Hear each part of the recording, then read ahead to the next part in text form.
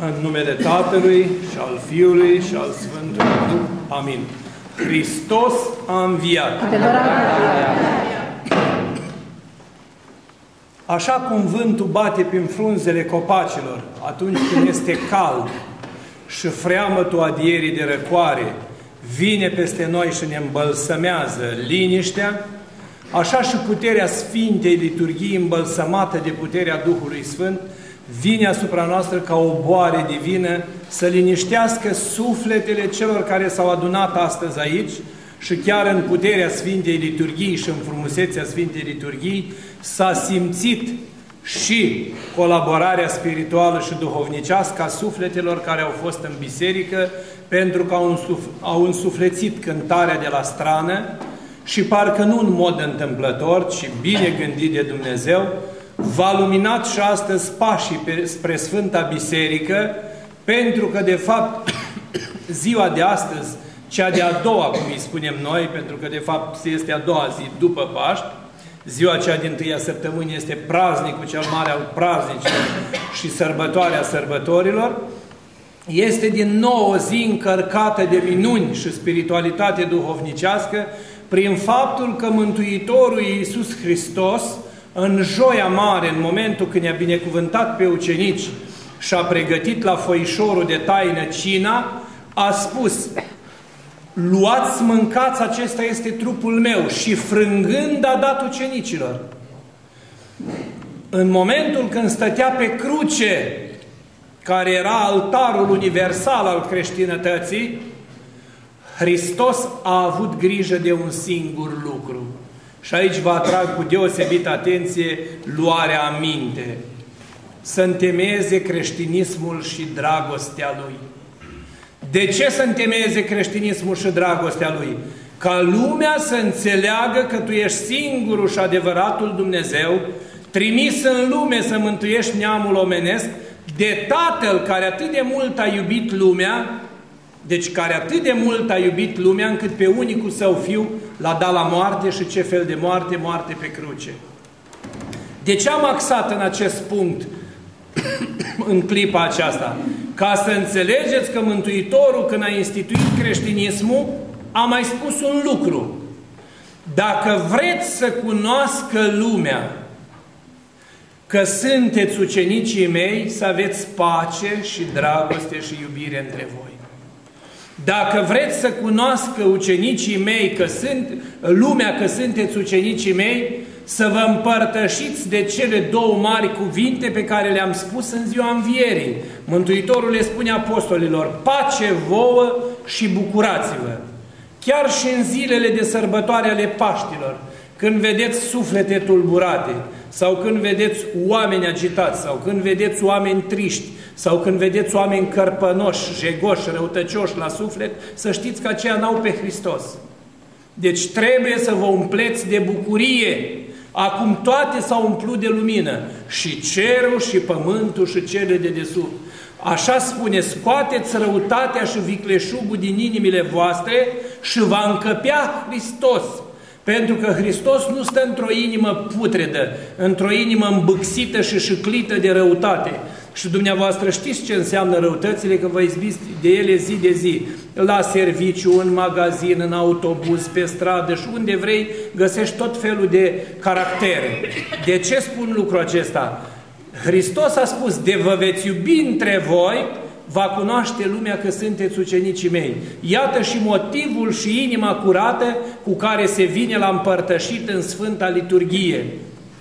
Iată și motivul și iată și temeiul pe care Hristos l-a lăsat la Sfânta Cruce, întinzând brațele deschise umanității în semn de iubire și spunând așa, iartă-i, Doamne, că nu știu ce fac. Să iertăm și noi toate pentru înviere, așa cum s-a cântat în ultima parte a strofei uh, de la Stihoavnă, de acolo, deci cântar, cântarea Ziua Învierii, și să zicem fraților celor ce ne urăsc, de ce? Pentru că și ei s-au împărtășit, și ei au Sfântul Botez, și ei sunt creștini, dar nu-și cunosc această însușire cât de importantă este în sufletul lor. Și iată că Hristos acolo, în mijlocul crucii, țintuit și bătut în piroane, jocorit de un tâlhar, și acceptat de celălalt ca fiind, dacă omul acesta ar fi vinovat, ar zice ceva, dar de vreme ce e nevinovat și tace, de ești tu Fiul lui Dumnezeu, pomenește-mă când vei veni într-o împărăția ta. Și atunci Ioan Gură de Aur spune, o tălharule și al raiului tălhar, cum ai știut să furi tu cu mâna cele materiale și cu limba raiul? Deci așa trebuie să fim și noi, tălharea ai raiului, să profităm de aceste momente sublime ale învierii și să ne împărtășim de fiecare sfântă liturghie, pentru că liturghiile din săptămâna luminată sunt cele mai pline de lumină, sunt cele mai frumoase liturghii. După ce trece săptămâna luminată, că de aceasta se și cheamă luminată, că totul este plin de lumină, Hristos a umblat în această săptămână pe pământ, arătându-se, cum v-am spus, mironosiților, apostolilor, la Marea Tiberiade, prin ușile încuiate și așa mai departe, Hristos vine inclusiv în casele noastre. Vine la candeluța pe care ați aprins-o la icoană, la camera pe care ați văruit-o curat, la hainele frumoase pe care le-ați parfumat cu busuioc sau ați pus între ele flori de livadă ca să miroase frumos sau levănțica, la tot ce ați pregătit în cămară pentru gustare, totul e binecuvântat de Hristos prin coșul pe care l-ați adus la biserică și unii au întrebat, Părinte, dar nu se dă Paște. Tot ce aveți dumneavoastră în coșul acela se numește Paște. Este jertfa adusă lui Hristos, binecuvântată de sângele Lui. De ce sângele lui Hristos a fost atât de necesar în ziua învierii? A fost necesar pentru că Hristos stând pe cruce a dăruit lumii creștinismul, dar nu l-a dăruit oricum, din apă și din sânge. Din botevul că a pierdut războiul cu Hristos, s-a gândit un lucru. Pot și eu să dăruiesc ceva lumii, cu mai puțină străduință, cu mai multă greutate, dar de voi reuși prin pitonicească gândire, voi pătrunde lăuntru lor și voi face mai multe biserici și ne-a dăruit satana religiile. Deci iată de ce în prima zi a învierii Hristos s-a lăsat jerfit pe El însuși, El fiind și prescura, și jerfa, și liturgia, ca să ne dea nouă semnul cum să-L cunoaștem, să nu rămânem cu ochii închiși sau să nu rămânem legați cu inima și să nu-L înțelegem când este lângă noi. Și același lucru, nu în mod întâmplător, s-a petrecut în satul Emaus, la 60 de stadii de Ierusalim, când Petru, înștiințat de Maria Magdalena că mormântul e gol, că a văzut înger, că i-a sărutat picioarele, rămâne foarte înspăimântat și spune, baniște femei de ale noastre ne-au spus că au văzut arătări de înger. Noi ne-am dus la mormânt, am văzut ciulciurile singure zăcând, dar nici vorbă urmă de înger, nici vorbă să-L fi văzut pe Hristos. Nu l-au putut vedea pentru că nu erau curați cu sufletul. N-aveau suficientă străduință de întâlnire cu Hristos. Erau biruiți de teamă, de frică și de îndoială. De aceea și în, și în Evanghelie Mântuitorul a spus, fricoșii nu vor moșteni împărăția lui Dumnezeu. Deci asta să aveți în minte. Fricoșii nu vor vedea raiul. Trebuie să ai curaj, nu să fii tupeist sau obraznic, dar trebuie să îndrăznești la Hristos, că El a spus așa, îndrăzniți că eu am biruit lumea. Și iată că a doua zi de înviere, deci ce numim noi astăzi, Hristos instituie din nou o sfântă liturghie. Nu stă nici de data aceasta degeaba, ci vine subtil ca forma străinului necunoscut pe cărarea Emausului, vede doi din ucenici, deci Luca și Cleopa, care mer mergeau pe cale și discutau așa cum o să discute acum două băbuțe când merg de la biserică acasă. Ce frumos a fost, dar ce bine m-am simțit, dar ce grozavă a fost sărbătoarea și ei mergeau triști spre Ierusalim, de la Ierusalim spre Emaus și spuneau ai văzut cum au reușit să-l răstihnească? Ce proroc tare în cuvânt! Ai văzut ce om ales de Dumnezeu și totuși mai mari noștri l-au răstihnit. Și el s-a apropiat, prefăcându-se că nu știe nimic, bineînțeles indignând pe cei doi, care au spus, dar ce tu ești singur în Ierusalim, tu nu știi ce dramă am trăit noi, tu nu știi ce suferință s-a petrecut aici, tu nu știi câtă dezamăgire sufletească e în sufletul nostru. Și în clipa aceea Și în clipa aceea Mântuitorul a început să tălcuiască toate scripturile de la Moise și până la învierea lui. Dar n-a fost de ajuns. De ce? Și aici am vrut să punctez. Pentru că satana imediat după înviere a intrat și el în sufletele oamenilor și s-a pus de-a curmezișul întemierii bisericii creștine și ce a făcut? S-a strecurat și au început să apară irodianii, saducheii, cei care nu credeau în înviere, cei care contestau taina învierii, cei care țineau încă cu tărie de iudaist, cum a fost și Apostolul Pavel, care omora creștinii într-o veselie în ideea că el face bine ceea ce face. Numai înțeleptul Nicodim a scăpat o vorbă foarte adâncă și a spus, bărbați, frați, nu încercați să opriți pe oamenii aceștia. Nu încercați să vă puneți împotriva lui Dumnezeu. Nu încercați să, să opriți ceea ce nu poate fi oprit. De va fi ceea ce spune ei de la oameni, să vă șterge, cum au trecut și alte curente religioase. Închinarea la idol, la garizim, închinarea în timpul cotropirii la Manase, la regele Asud și așa mai departe. De ce își aduceau aminte de robia Babilonului, de robia lui Faraon și toate au trecut, că au fost de la om. Și a spus, și dacă aceștia vor fi de la Dumnezeu, vor rămâne peste veacuri. Și iată că creștinismul de 2000 de ani a tronat, dar ca apostolii să cunoască că creștinismul cel adevărat adus de Hristos, religia creștină, este cea adevărată, ne-a dat sfânta și dumnezeiasca liturghie. După toți Sfinții Părinți, Sfânta și Dumnezeasca liturghie este sublimul culturii divine. Atât a putut dărui Dumnezeu omului, trupul și sângele Lui, să-L mâncăm și să-L bem pentru noi oamenii și pentru noastră mântuire. Și în momentul acesta, când a văzut că li s-a vorbit la apostoli, lucru care se întâmplă, dacă vreți, fără să comentăm, fiindcă noi nu suntem puși aici să facem uh, Uh, comentarii paralele la adresa altcuiva, dar așa cum vedeți că și sectele vorbesc de Dumnezeu, dar n-au Sfântă Liturghie, așa și ei sunt cu ochii legați și închiși să nu-L cunoască. Așa și ei sunt astupați la minte și împietriți la inimă să nu înțeleagă jerfa crucii și a răstihnirii, jerfa învierii și a ridicării. Deci la ei rugăciunile sunt doar la nivel de Sfântă Scriptură. Și atunci spune, le tâlcuia Scripturile mergând pe cale. Dar când Hristos a văzut că aceste Scripturi nu sunt concludente și convingătoare, și-a adus aminte, nu ca Dumnezeu, ci le-a adus aminte ca Dumnezeu și a zis așa, stai un pic, cândva, nu de mult, eu le-am spus, de veți face aceasta într-o pomenirea mea în veacul veacului, biserica nu va fi dărâmată de, de iad în veac, porțile iadului în veacul veacului. Și atunci a cerut pâine, și binecuvântând și frângând, a rupt și a dat ucenicilor zicând, ce zicând, nimic, plecând pace vouă. Și în clipa aceea s-a făcut nevăzut. Cum a reușit Hristos să se facă nevăzut? Vă spun tot eu. În clipa în care a binecuvântat pâinea, ca creator și ca, institu ca instituitor al Sfintei Liturghii, el euharistic s-a transformat în pâinea care era lor de față, în Dumnezeită.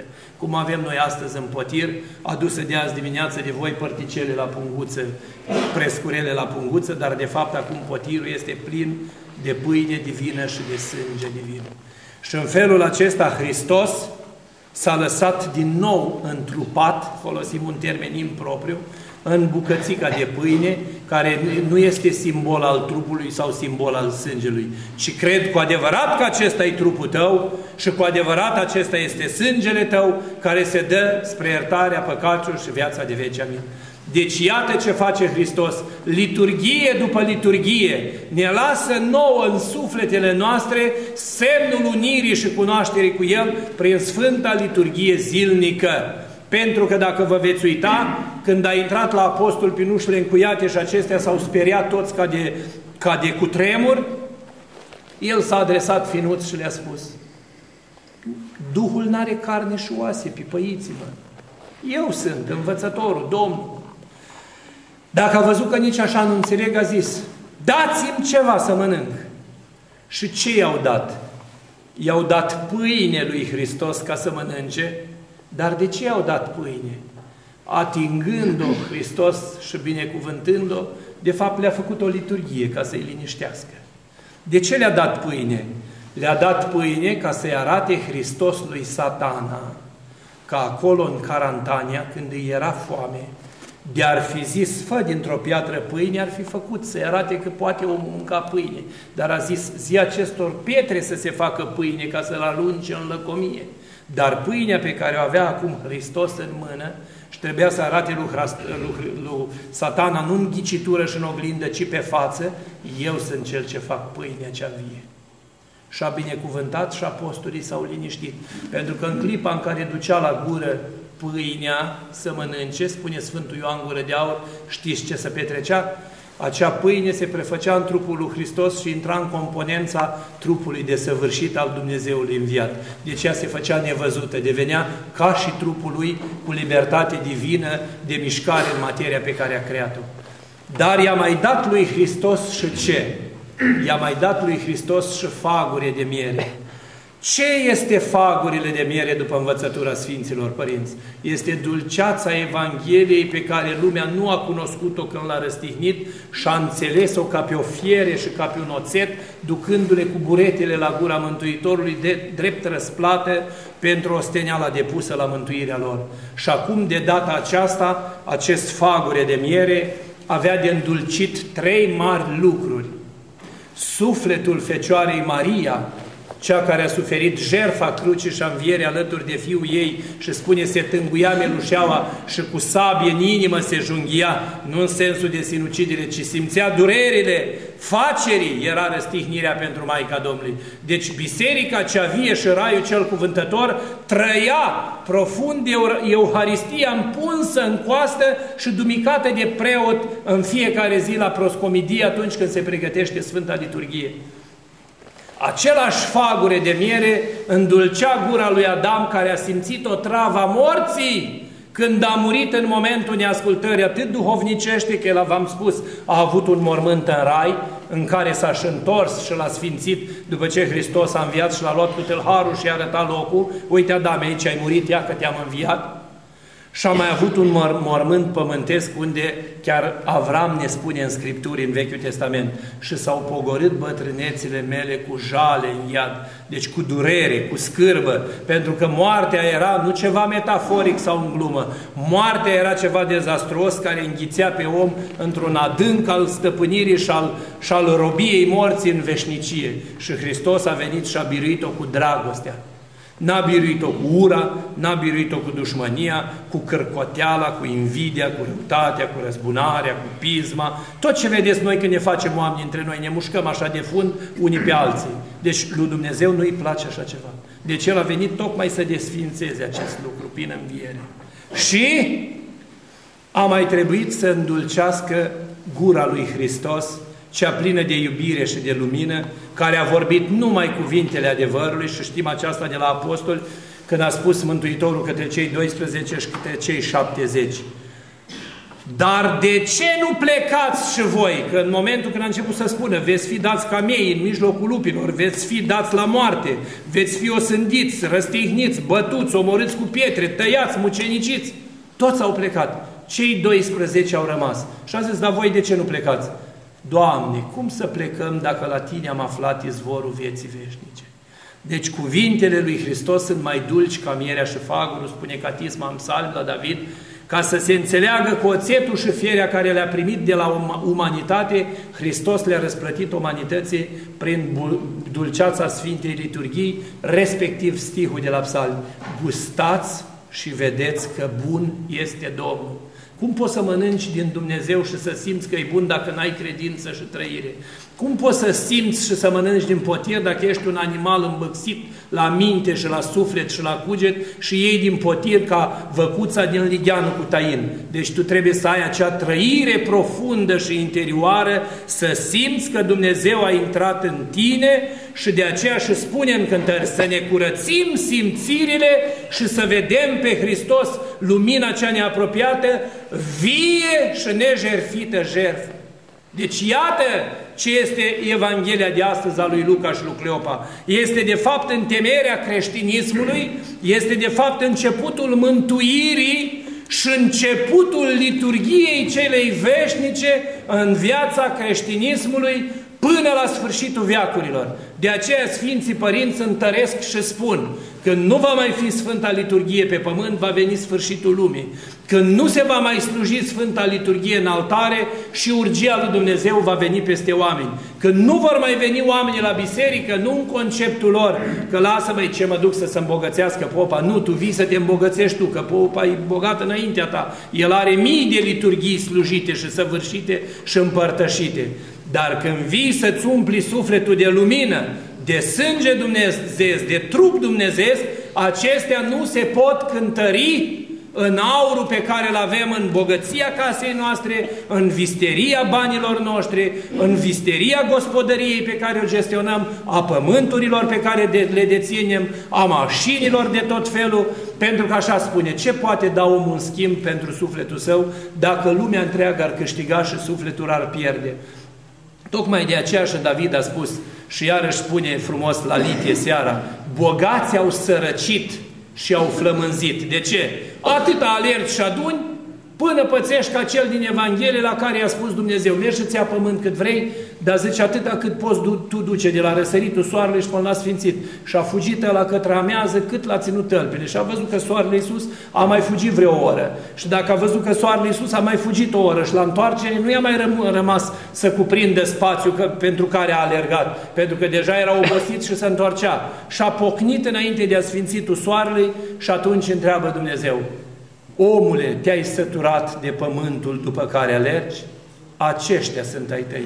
Doi metri la pătrat în adâncime și în lățime. Deci iată ce luăm cu noi în mormânt. Nu luăm nici vilan, nici intravilan, nici vilă cu masardă, nici piscină. Deci luăm Duhul Sfânt. Și atunci un 5 lei și o lumânare la liturghie sau 10 lei cu tot cu prescură este o nimica toată înaintea lui Dumnezeu pe lângă veșnicia pe care o mâncăm din potir, sărbătoare de sărbătoare, duminică de duminică să rânduiască Bunul Dumnezeu, ca până om îmbătrâni și nu ne-o mai vedea, sau unul din noi pe rând tot va pleca în împărăția lui Dumnezeu, să fim o permanentă liturghie, o permanentă trăire, o permanentă conlucrare și unire cu Dumnezeu prin Sfânta Euharistie, să ne deosebim de restul învățăturilor lumii legate de Hristos și doctrina ortodoxă, care înseamnă creștinism și nu erezie sau altă religie, și să înțelegem că Hristos este unul în treime și are o singură, unică, sobornicească și apostolească biserică, cea întemeiată cu jerfa și sângele crucii. Amin. Să trăiți,